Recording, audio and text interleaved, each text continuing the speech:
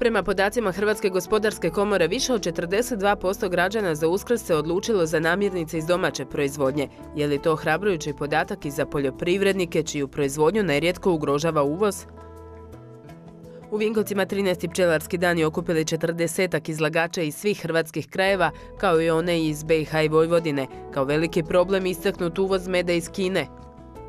Održan seminar o mogućnostima grijanja na biomasu predstavljene mogućnosti same proizvodnje i dobrobiti biomase.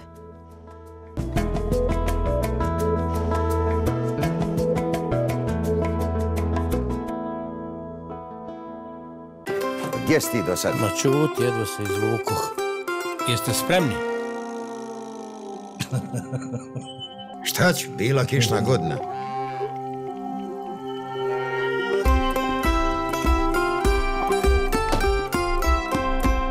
Samo domaće. Samo prirodno. Ništa više. Povećajte urod i svoje prihode. Sijte BC hibride. BC institut.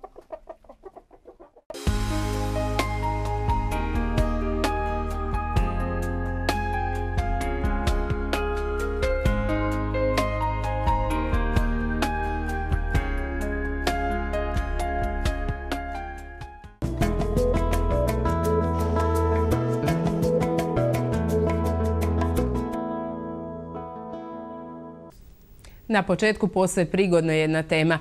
Više od 42% građana za uskrs će kupovati namirnice iz domaće proizvodnje. Građani iz godine u godinu sve su svjesni i nužnosti kupovanja domaćeg jer tako štitimo naš standard, proizvodnju i radna mjesta. Istaknuli su to iz sektora za trgovinu Hrvatske gospodarske komore, naglasivši da je to još jedan od pokazatelja uspješnosti nacionalne akcije Kupujmo Hrvatsko HGK koju provodi već 20 godina. Možda je to ohrabrujući podatak i za poljoprivrednike čiju proizvodnju nerijetko ugrožava upravo uvoz. Provjerili smo kako razmišljaju potrošači i imaju li se proizvođači pravo nadati da će njihovi proizvodi biti prepoznati. Kada kupac nagradi kupnjom ono što je plod truda i muke, onda stajanje ovako za tezgom u raznim vremenskim uvjetima ne pada teško. Srećom, dani pred uskrs obasjani su bili suncem, ali i prodaja za povrtlare. Ovdje vam je bilo negdje oko 200 vezica crvenog luka, takozvanog srebrenca. Proizveli su ga na OPG u gradištu kod Ljubice Dretvić. Sve su prodali, kažu mi, već u ranim jutarnjim satima, odmah po dolasku na tržnicu. To je dobar znak i pokazatelj kako se ipak cijeni rad poljoprivrednika i kupuje domaće. Tako je, da. Cijena? E, Pet kuna je bila jedna vezica. Mhm. I koliko su u prosjeku kupovalo? Pa e, po jedno dvije vezice minimalno. Ono, svako je uzeo bar dvije, tri, tako. Najviše je bilo četiri vezice, to je ono standard, šta ja znam. E, cijene koje su u trgovačkim lancima znatno niže nego ovdje kod vas e, na tržnici nisu utjecale uopće na prodaju. Nisu zato što je baš bio domaći, to je baš, kažem, taj srebrenac u perima što ide i baš, se- baš su bila divna i pera i prodalo se, kažem, stvarno dobro. Od štanda do štanda. Razmišljanja gotovo identična, rekli bismo optimistična. Uloženi trud, naplaćen. Koliko su- Znači, kopanje, jel? Bez špricanja, bez bilo kakvih otrova. Motika i cijena? pet kuna vezica. I evo danas, hvala Bogu, pet puta su nam dovozili još.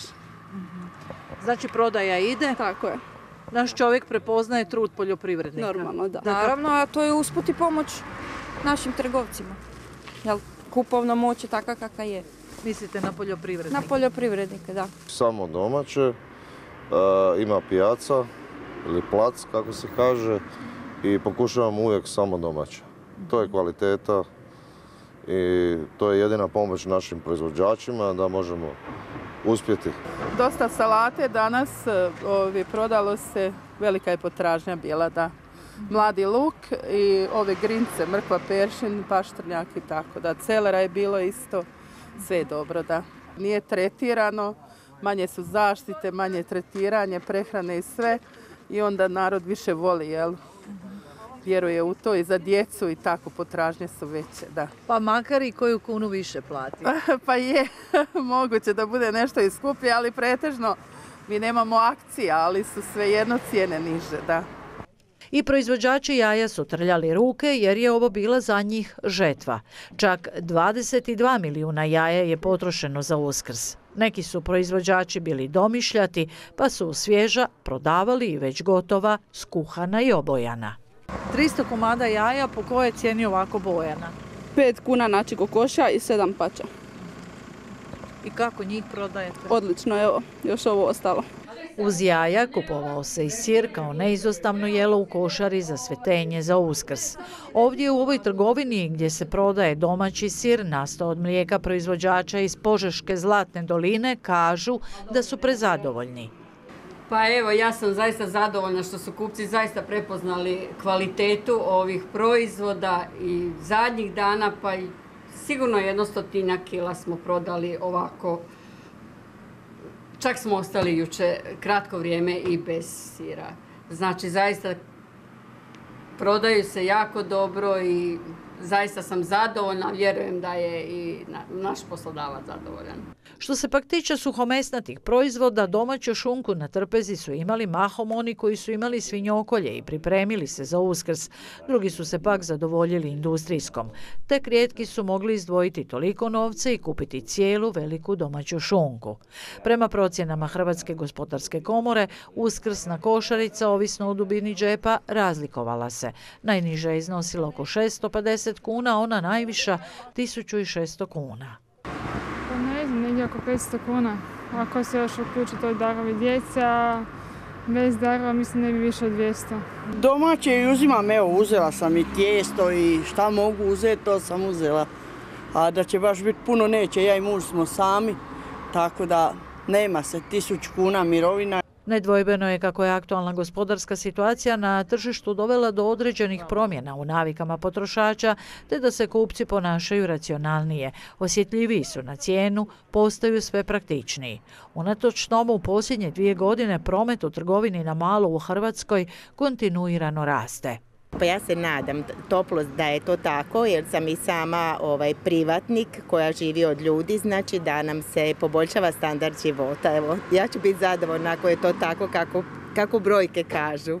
I da se vrata koliko toliko sigurnije budućnosti otvaraju i brojnim OPG-ovima koji su na izmaku snaga i kojima vjetar u leđa može biti samo isključivo okretanje građana prema kupnji domaćih proizvoda.